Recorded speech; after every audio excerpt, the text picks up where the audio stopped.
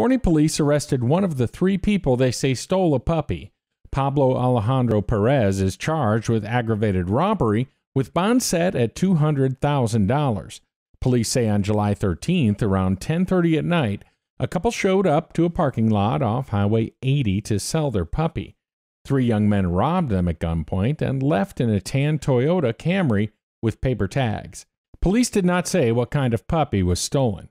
They are searching for the other two suspects. Anyone with information is asked to call Forney Police at 972 564 7607. Jeff Petrulis for CBSN DFW.